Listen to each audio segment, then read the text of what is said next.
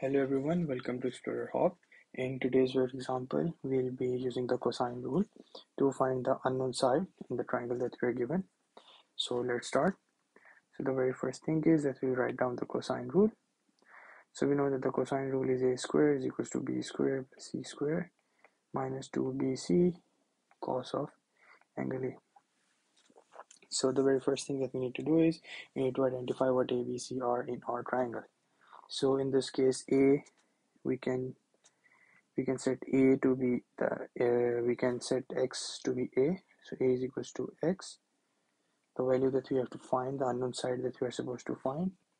And we can say that b is equals to 3 and c is equals to 9 the other two sides.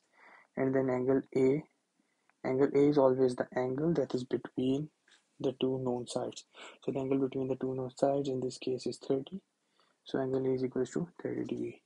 So now what we'll do is we'll just substitute everything into this equation that we have and we would get x squared equals 3 squared plus 9 squared minus 2 into 3 into 9 cos of 30 and obviously we'll be using a calculator to further simplify it down. And if you'll put everything in the calculator correctly you will get 43.235 notice that this is the value of x squared. This is not x. We're supposed to find x.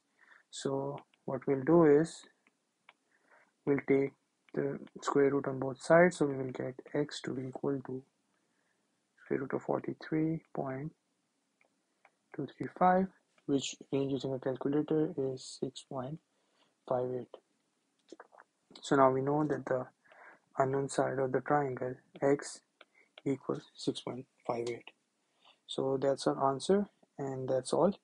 Thank you for joining us. Uh, i'll see you all in the next lesson